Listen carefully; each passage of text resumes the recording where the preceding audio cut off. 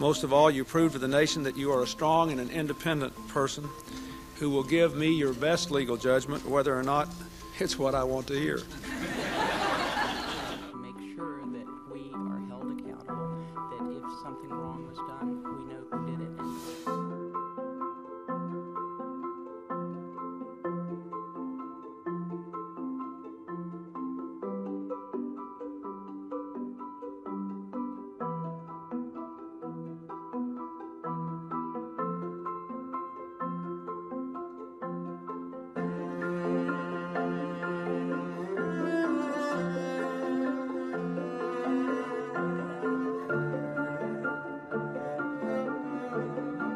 Based on what we know now, it was obviously wrong.